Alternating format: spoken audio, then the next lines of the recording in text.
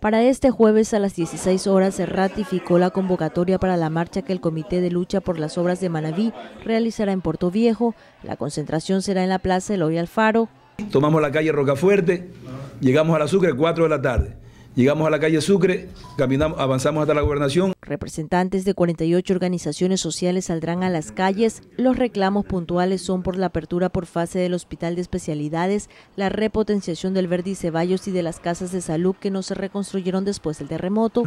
Eh, de que el Hospital Verdi Ceballos quede como está actualmente, como un hospital nivel 2, que se repotencien no solo la maternidad en el planteamiento de nosotros, sino todas las unidades de salud que, se, que, que tiene la, la, provincia de Manabí. Desde la gobernación de Manabí se informó se plantean mesas de trabajo para difundir la información de los temas que el comité reclama. Y también estaremos prestos las veces que sean necesarias para reunir y poder explicar y solventar mediante mesas eh, técnicas, mediante eh, mesas o espacios de diálogo permanente y no sobre eh, también eh, espacios del que más grita es el que tiene razón. Sobre la participación de autoridades cantonales y provinciales en la movilización de este jueves informó. El prefecto de Manabí pidió tiempo para hablar con la ministra e invitar a la provincia que venga a informar y a reunirse con el comité. El alcalde nunca dijo que iba a marchar con nosotros.